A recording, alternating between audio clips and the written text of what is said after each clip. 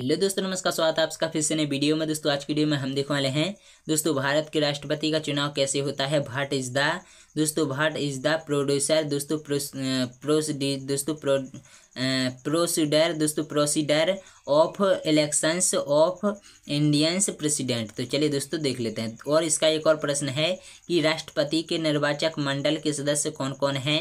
इन दोस्तों who are the members of president electoral electoral bond electro electoral bond दोस्तों, राष्ट्रपति के निर्वाचन की प्रक्रिया है कि इलेक्ट्रेशन, दोस्तों, इलेक्शन प्रोड्यू, दोस्तों, प्रोसीडर ऑफ़ प्रेसिडेंट। दोस्तों, राष्ट्रपति के चुनाव में प्रत्यक्ष जनता मतदान नहीं करती है।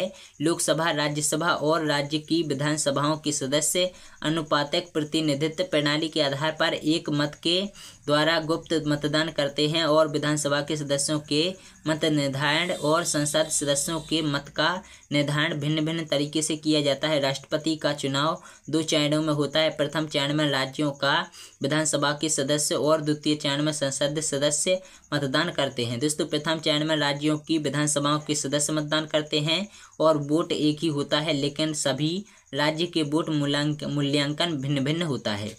अब हम लोग देख लेते हैं इसका सूत्र। दोस्तों, विधानसभा के एक मत निर्धारण संख्या। सबसे पहला होता है राज्य की जनसंख्या बटे राज्य की विधानसभा की सदन संख्या। इसका भाग देना है एक हज़ार में। और इसका दूसरा सूत्र और है जो कि आप लोग दे सकते हैं।